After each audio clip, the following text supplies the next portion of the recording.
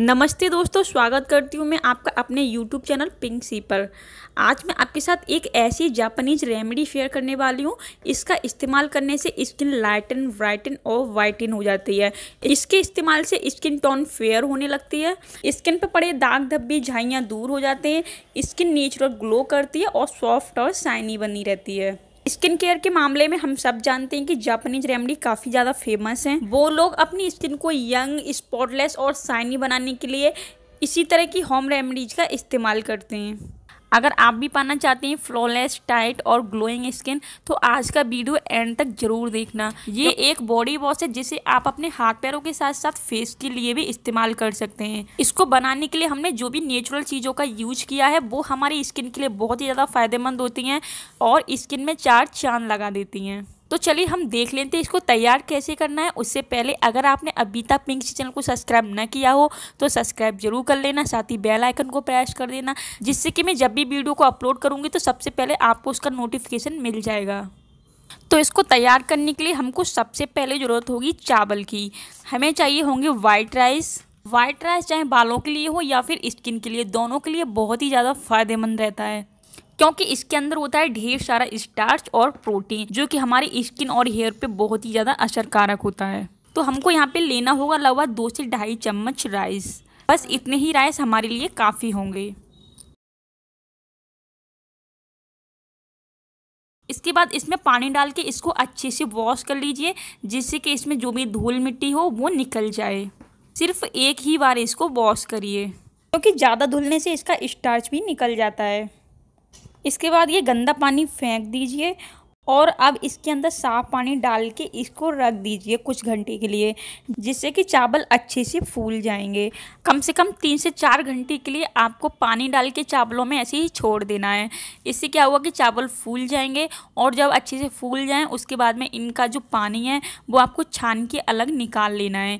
ये वाइट सा, दूधिया सा पानी आपको मिलेगा, वो आपको चाहिए होगा। और चावल आप अलग निकाल के रख दीजिए।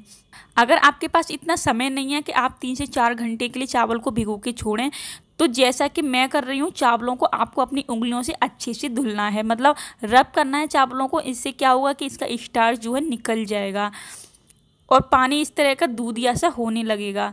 जब चावलों का पानी इस तरह से वाइट होने लगे, उसके बाद में आपको इसको छान के अलग कर लेना है, एक बाउल में रख लेना है। और जो चावल बचे हुए हैं, आप इनको कुक करके खा सकते हैं। इसके बाद में आपको चाहिए होगा एक सोप, जिसे आप नहाने या फिर मुँह धुलने के लिए इस्तेमाल करते हैं। कोई माइल्ड सोप लीजिए, ऐसा सोप जो आपकी स्किन पे हार्ड ना हो। इसके बाद में इस सोप को किसी ग्रेटर से ग्रेट कर लीजिए। आप चाहें तो इसे चाकू से बारीक बारीक काट भी सकते हैं। जितना बड़ा मैंने सोप लिया है, उसका वन फोर्थ पार्ट में ग्रेट कर रही हूँ। आप साबुन की जगह जो रेडीमेड सोप बेस होता है, उसका भी इस्तेमाल कर सकते हैं अपनी पसंद के हिसाब से।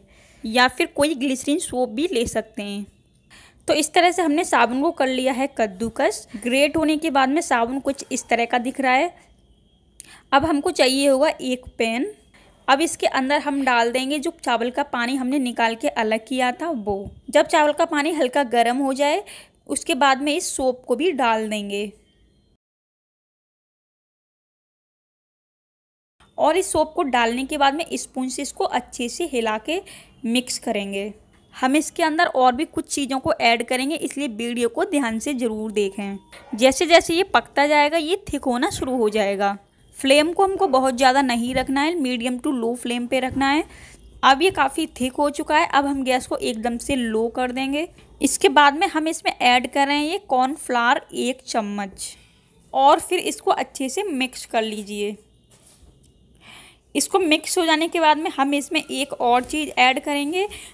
अब हमको गैस को कर देना है ऑफ़ अब इसी स्टेज पे हम इसमें ऐड करेंगे एक चम्मच मिल्क पाउडर मिल्क पाउडर को डालने के बाद में इसकी कंसिस्टेंसी एकदम से स्मूद हो जाएगी थिक हो जाएगी और ये बहुत ही अच्छा टेक्सचर ले लेगा। एक मिनट तक इसको अच्छे से मिक्स करिए। मिक्स करते करते ये एकदम से स्मूथ हो जाएगा। इस तरह का आप देख ही रहे होंगे कि धीरे धीरे काफ़ी अच्छे से स्मूथ होने लगा है। क्रीमी पेस्ट बन चुका है, क्योंकि इसमें सोप ऐड किया है, इसलिए ठंडा होने के बाद में हार्ड होने लगेगा। अगर आप चाहते हैं कि ये इसी तरह की फॉर्म में रहे तो आपको इसमें थोड़ा सा दूध मिक्स कर देना होगा। इससे क्या होगा कि ये जमेगा नहीं और ये थोड़ा सा लिक्विडी पेस्ट जैसा बना रहेगा। इसके बाद में इसको किसी कंटेनर में स्टोर करके रख लीजिए। इसको इस्तेमाल करने का तरीका यही है कि जब आप अपने हाथ पैर धोएँ, नहाएँ, तभी इसको थोड़ा सा लीजिए और पानी के साथ में इसको अच्छे से मिक्स करके लगा लीजिए। इसमें काफ़ी अच्छे से बबल्स बनते हैं, जैसे कि साबुन में होता है। ये स्किन की बहुत ही अच्छी सी क्लीनिंग करता है, उसको ब्राइट करता है स्मूथ बनाता है, यंग दिखाता है स्किन को। मैं उम्मीद करती हूँ कि आज का वीडियो आपको काफ़ी पसंद आया होगा। अगर आपको वीडियो अच्छा लगा हो तो वीडियो को लाइक कर देना, शेयर कर देना और हाँ पिंकसी चैनल को सब्सक्राइब ज़रूर करना, जिससे कि आप मेरे ऐसे ही अच्छे अच्छे वीडियो सबसे पहले देख सकेंगे। मैं मिलती हूँ आपसे ऐसे ही किसी अगले वीडियो में, तब तक के लिए नमस्ते।